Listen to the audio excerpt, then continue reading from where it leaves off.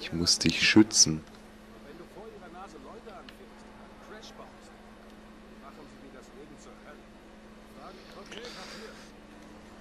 Ja, okay, dann muss ich jetzt erstmal wieder zu dir fahren. das Navi zeigt mir immer schön den Weg. Nitro gibt es auch. Ist natürlich unlogisch, aber das ist ja nicht so schlimm.